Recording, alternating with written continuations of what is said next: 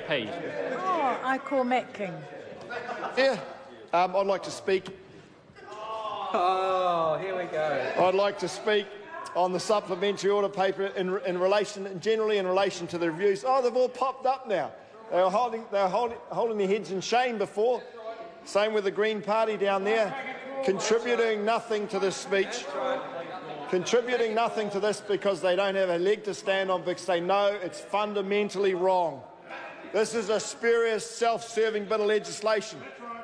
And it, it's in need of review. You need to review it, and there's no logical argument why you can decline the supplementary order paper. Regard having a review, having a fresh set of eyes and ears to look at it, because you know it's wrong. Sorry, not you know. The, the, the, yeah, sorry. The, the coalition government know it's wrong. And I, I'm going to talk about the Honourable Andrew Little. It must be particularly galling for him to run this through because I'm told he is a man of integrity, and it must be particularly galling to have his name on this bill and have to take it through the House.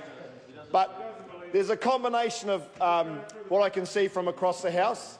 There's heads down because they're ashamed of this and they're chewing on the rats, and you can see the tails hanging out.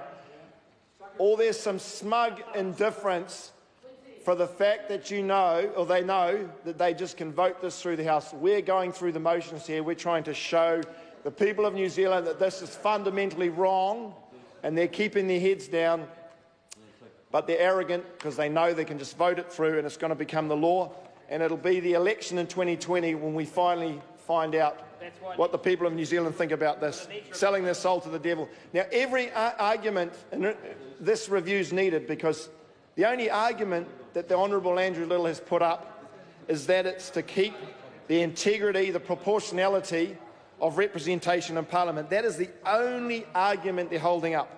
But in the 2015 by-election, that went out the window. So I'm an elect, I'm elected MP. I'm a, I have an electorate. I have people that I answer to. And I, Nick Smith says, who did I beat?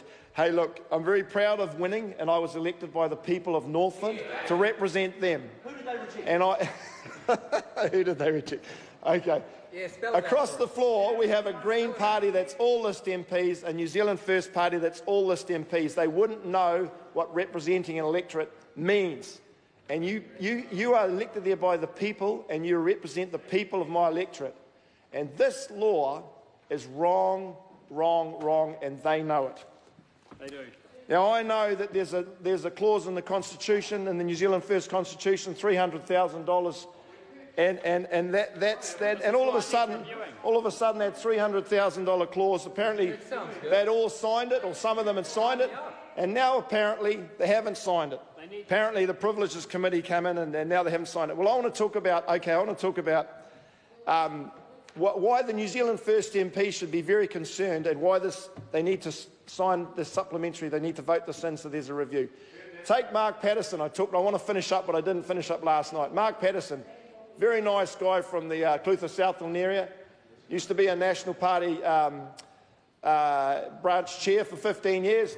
Blue blood flowing through him. He, he, he didn't make the cut, so he went to the dark side and became a, a uh, New Zealand First candidate, and now he's an MP.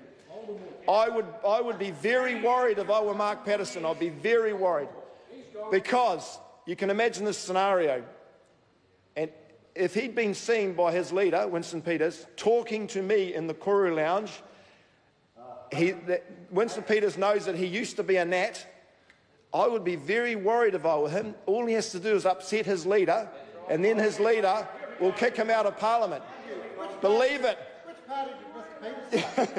yeah, so he used to be a Nat too. Yeah, so there you go. So if I were, if I were uh, Mark Patterson, I'd be very, very concerned about and I can't understand why he's, not, why he's supporting this bill. But we know why he's supporting this bill because his boss is going to have the power to kick him out. And what they'll do to stay in power, this is what they're doing to stay in power. So, uh, you know, I feel sorry for those guys. I feel so, very sorry for those guys because they have to vote for this bill because their bosses told them to. But as soon as they vote for this bill, the moment they cross swords with Mr. Peters, and a number of MPs of his, of his ilk have, part, have crossed swords with him.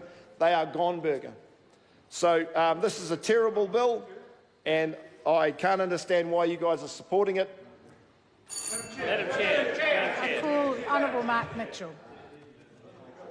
Yeah, it's a pleasure to take a call on these. I'm going to talk to all four of these supplementary orders.